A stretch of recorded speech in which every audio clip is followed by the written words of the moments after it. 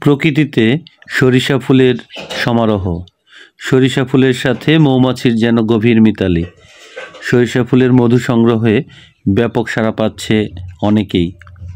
লাভবান হচ্ছে কৃষক। মাঠের পর মাঠে সরিষার ক্ষেত হলুদে হলুদে ভরে গেছে মাঠ। আর মধু চাষিরাও ব্যস্ত সরিষার ক্ষেত থেকে মধু সংগ্রহে। দেশের প্রায় প্রতিটি জেলায় বিভিন্ন এলাকার ফসলের মাঠে গিয়ে এমন চিত্রই দেখা গেছে। ইতিমধ্যে খাঁচা পদ্ধতিতে চাষকৃত মৌমাছির মাধ্যমে সরিষা ফুলের মধু সংগ্রহে ব্যাপক সাড়া ফেলেছে কৃষক। কৃষি সম্প্রসারণ অধিদপ্তরের মতে, সরিষা ক্ষেতের পাশে মৌমাছির মধু চাষের কারণে পরাগায়ন ঘটছে ফসলের।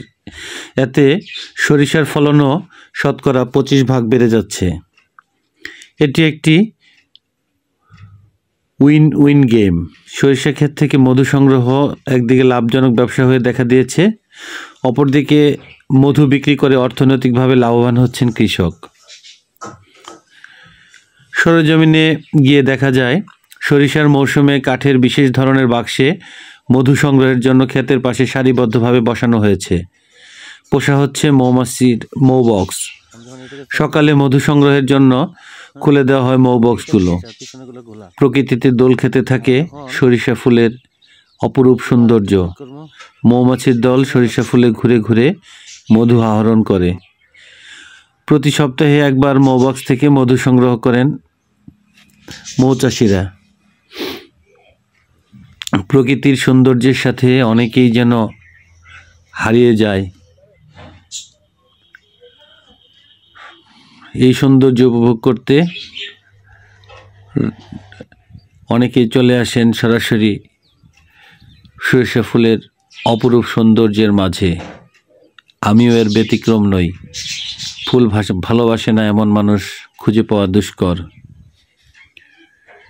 ফুলে ফুলে ফুলের সাথে বাতাসের যে মিতালি মৌমাছি এসে খেলা করে, সব মিলিয়ে যেন এক অপরূপ সৌন্দর্য। অবারিত হলুদের সমারোহ মনকে যেন আরও প্রফুল্ল করে তোলে। মেশিনের মাধ্যমে মধু সংরক্ষণ করে বাজারজাতের ব্যবস্থা করা, করেন অনেক কৃষক। কৃষি বিভাগের তথ্য মতে এই মধু জেলার চাহিদা মিটিয়ে সরবরাহ হয় দেশে এবং বিদেশের মাটিতে। তখন এটা ফ্রেশ আর গোলা কথা হয় মধু চাষি সুমন আলীর সাথে। তিনি জানান, দুই হাজার তেরো সাল থেকে তিনি সরিষা ক্ষেত